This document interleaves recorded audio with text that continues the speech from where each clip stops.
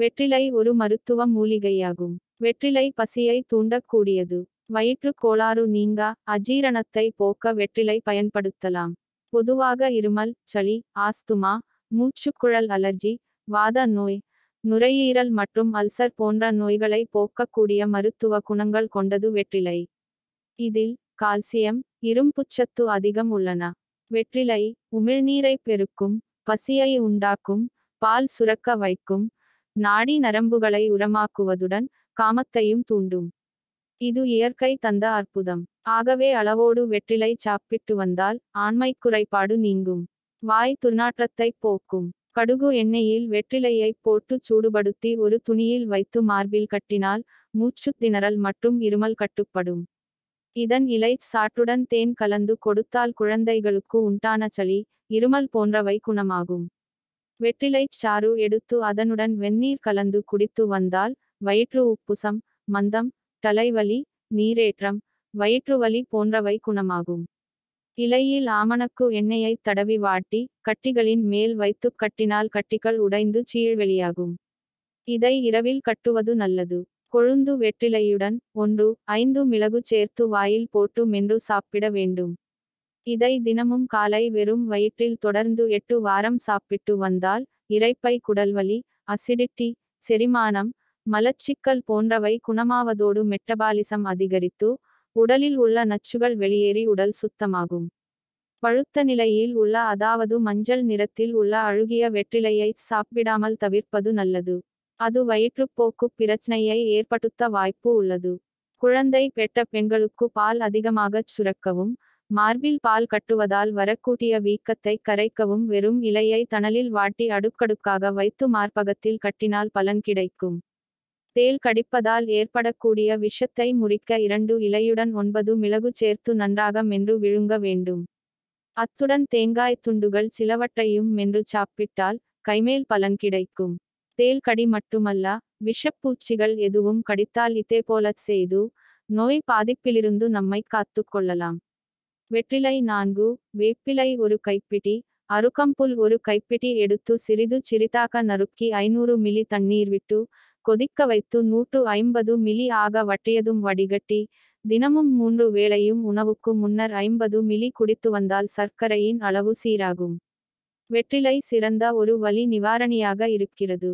உடலின் உட்புறம் மற்றும் வெளிப்புறம் நோய்கள் அடிபடுதல் போன்றவற்றால் மிகுந்த வலி ஏற்பட்டு அவதிபடும் நேரங்களில் ஒரு முழு வெற்றிலையை சுத்தம் செய்து வாயில் போட்டு நன்கு மென்று நீரருந்தினால் சீக்கிரத்தில் வலி குறையும். வெட்டு காயங்கள் சிராய்ப்புகள் வீக்கங்கள் போன்றவற்றிற்கு வெற்றிலைகளை நன்கு அரைத்து காயங்களின் மீது பரு போட்டால் அவை சீக்கிரத்தில் குணமாகும். உடலில் வாதம் தன்மை அதிகரிக்கும் போது வயிற்றில் வாயுத்தொல்லை போன்றவை ஏற்பட்டுகிறது. மேலும் சிறு குழந்தைகள் சிலருக்கு மலச்சிக்கல் ஏற்பட்டு அவர்களை மிகுந்த அவதிக்குள்ளாகும்.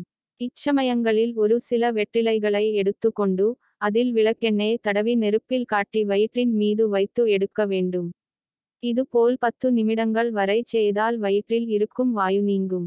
வெற்றிலைகளை நன்கு மென்று அதன் சாறுகள் பற்கள் ஈறுகளில் தங்கியிருக்கும் கிருமிகளை அழிக்கிறது. பற்சொத்தை பற்கூச்சம் போன்ற பிரச்சனைகள் ஏற்படாமல் தடுக்கிறது. குளிர்காலங்களில் ஏற்படும் சளி தொந்தரவுகளால் சுவாசிப்பதில் பிரச்சனை ஏற்படுபவர்களுக்கும் ஆஸ்துமா நோய் இருப்பவர்களுக்கும் சிறந்த நிவாரணம் அளிக்க வல்லது வெற்றிலை.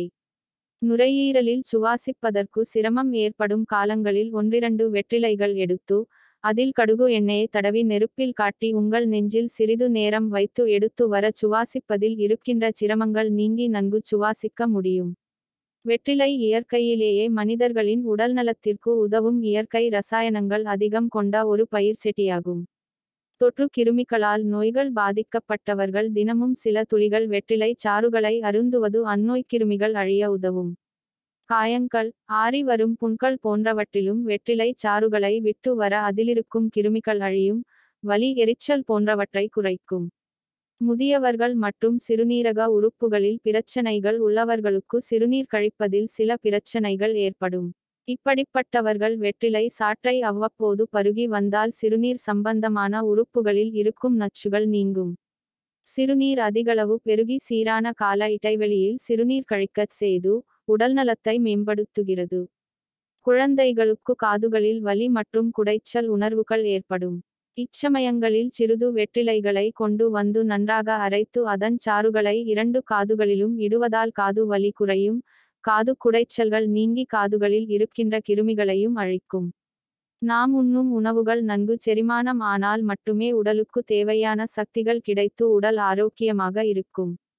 வெற்றிலைகள் அவ்வப்போது சாப்பிட்டு வருவதால் அந்த வெற்றிலையில் இருக்கும் இயற்கையான அமிலங்கள் வயிறு குடல் போன்றவற்றில் இருக்கும் நச்சுகள் அழுக்குகள் போன்றவற்றை நீக்கி உணவு செரிமானம் செய்யும் திறனை அதிகரிக்கிறது.